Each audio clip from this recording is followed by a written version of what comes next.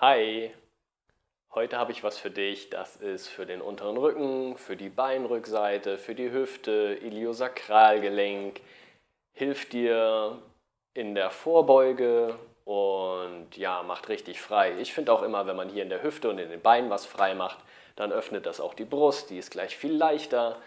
Und was du brauchst, ist ein etwas rutschigerer Boden und eventuell ein, und eventuell ein Handtuch und vielleicht Socken. Eins von beiden, Handtuch oder Socken. Die Socken, wenn es dir nichts ausmacht, dass sie kaputt gehen. Also Hacken, äh, Löcher an den Hacken. Für die Übung habe ich eigentlich Material für bestimmt eine halbe Stunde. Ich habe es jetzt mal auf 10 Minuten eingegrenzt, weil, naja, YouTube. Und du kannst sonst zuhören, du musst es dir nicht angucken, sondern hören, lausche meiner Stimme. Gucken kannst du, wenn du magst. Und wenn das Ganze auf positives Feedback stößt, dann haue ich vielleicht auch nochmal die halbstündige Variante raus. Weil die hat echt viele Benefits. Ich kann es nur immer wieder sagen, aber wir sind ja bei YouTube, wir machen es kürzer und jetzt legen wir los. Bis gleich.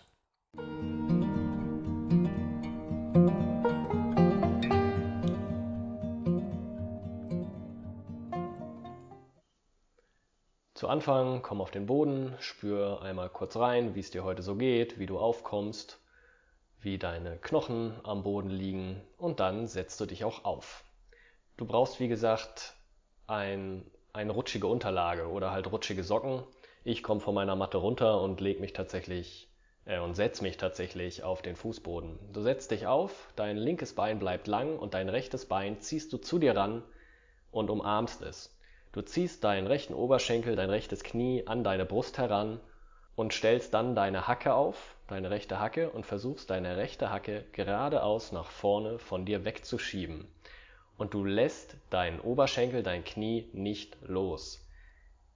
Du gehst also in eine Art Vorbeuge und ziehst dann deinen Fuß wieder zu dir ran. Ganz wichtig, du gehst nur so weit, wie du immer noch deinen Oberschenkel umarmen kannst. Dein Oberkörper klebt auf deinem Knie und auf deinem Oberschenkel. Du drückst deine rechte Ferse in den Boden, die Zehen zeigen zur Decke und schiebst deinen rechten Fuß von dir weg nach vorne und holst ihn wieder ran. Komisches Gefühl bestimmt. Geh nur so weit, wie du kannst. Ich beschreibe es noch einmal. Umarme dein rechtes Knie, deinen rechten Oberschenkel. Dein Fuß, dein rechter Fuß steht auf deiner Hacke und deine Zehen zeigen Richtung Decke. Und dann drückst du deine rechte Hacke nach vorne vor dir weg. Du sinkst mit deinem Oberkörper hinterher deinem Oberschenkel und schau einmal, was das dann in deiner Hüfte macht. Wie fühlt sich das in deiner Hüfte an? Schiebe deine rechte Hacke von dir weg, umarme dein rechtes Knie, bleibe mit dem Oberkörper auf deinem rechten Oberschenkel, gehe nur so weit, wie das noch möglich ist, mit dem Oberschenkel und dem Oberkörper in Verbindung zu bleiben und dann kommst du wieder zurück in die Ausgangsposition. Dein linkes Knie, dein linkes Bein, dein linkes Bein ist entspannt und lang. Mach damit keine komischen Bewegungen oder so, das rollt nicht irgendwie mit, sondern das steht, sondern das liegt einfach auf dem Boden. Und wenn du die Vorbeuge machst, achte darauf, dass du deinen rechten Sitzbeinhöcker nach hinten rausschiebst. Du machst richtig so ein Entenpopo.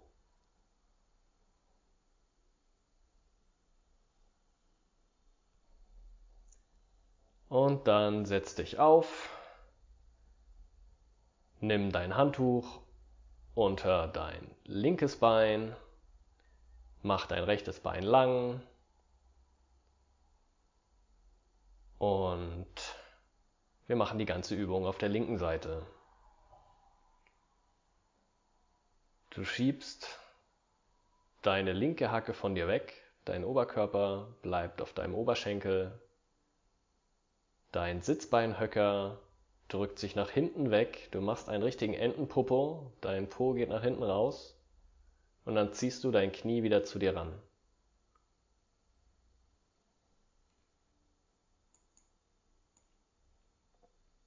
Umarme dein Knie, dein linkes Knie. Stell deinen Fuß auf deine Hacke, die Fußspitzen zeigen Richtung Zimmerdecke und du drückst deine, und du drückst deine linke Ferse von dir weg. Nach vorne, du kommst in die Vorbeuge. Und dein Oberkörper bleibt in Verbindung mit deinem Oberschenkel. Kannst du noch atmen oder bist du schon komplett weg? Bist du noch bei mir? Du kannst deinem Knie richtig einen Kuss geben, du bist ganz nah an deinem Knie. Achte darauf, was dein linker Sitzbeinhöcker macht. Schiebe ihn nach hinten raus. Mache einen Entenpopo.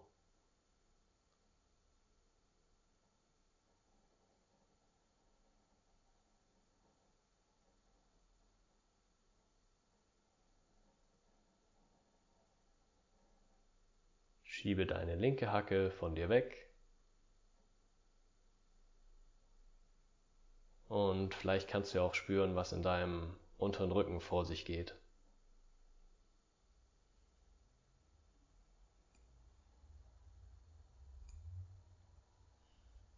Was macht dein unterer Rücken?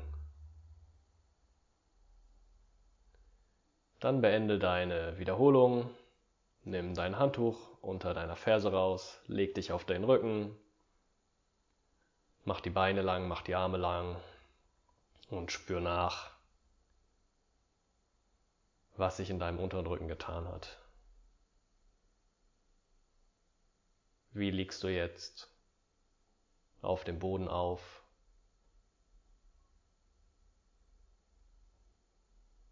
Wie fühlt sich dein Popo an? Wie fühlen sich deine Sitzbeinhöcker an. Und was spürst du vorne in deinen Leisten?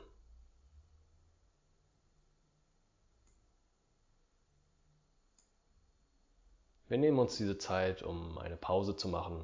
Das kann schon sehr anstrengend sein für deinen unteren Rücken, befreit ihn aber gleichzeitig auch.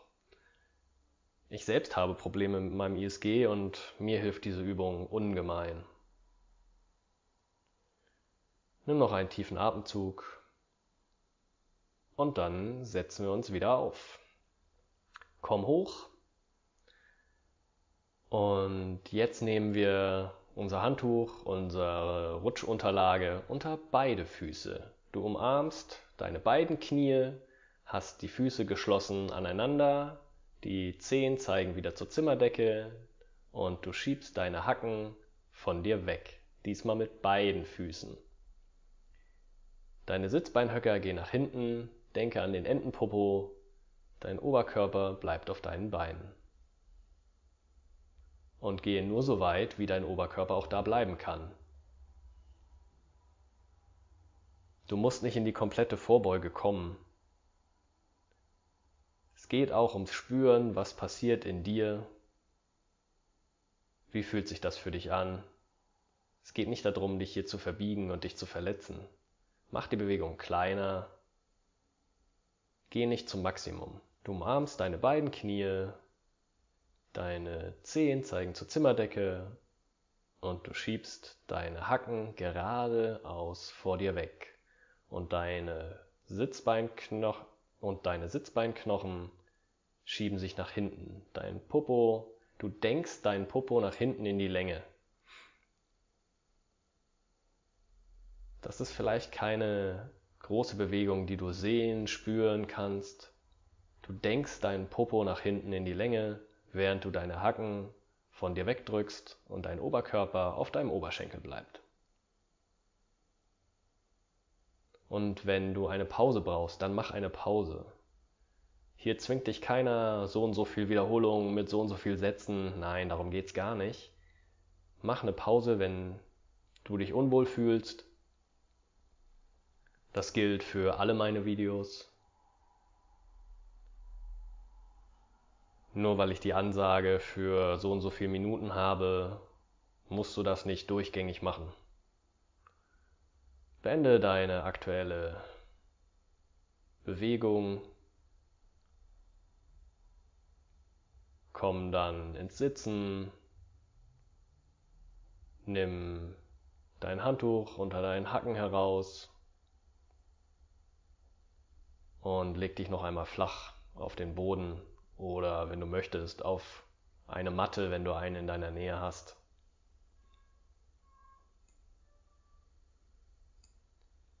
Spür nochmal in dich hinein.